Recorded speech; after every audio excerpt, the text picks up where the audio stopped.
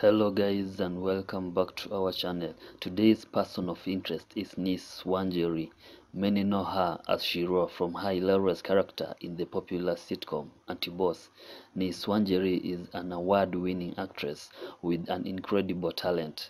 She is so talented that many actually believe that whatever she portrays on TV is the real her.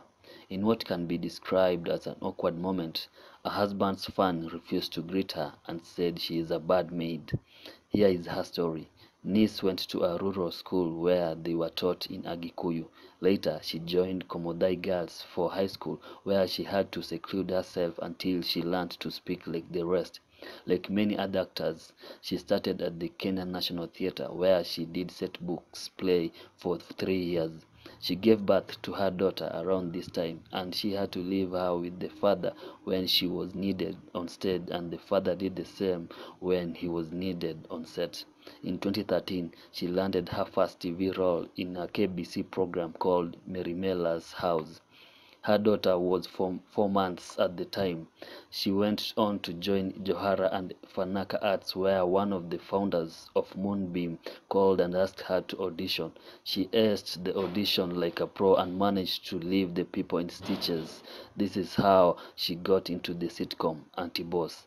Anti-Boss brought her fame and fortune. She played the role of a naive housemaid who was always doing the opposite of what the boss said. In real life, no one would want to hire such a housemaid. However, the boss baby boy bonded with her so much, making it difficult to fire her. After a long run, she announced her exit from the show on social media.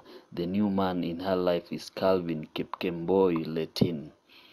Former Aunty Boss actress was nominated for the African Magic Viewers Choice Award, well known as AMVCA, alongside other big names in the African acting scenes, such as Rita Dominic.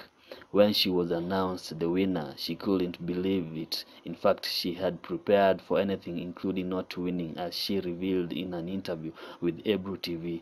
Remember to like, share, comment for more news and entertainment.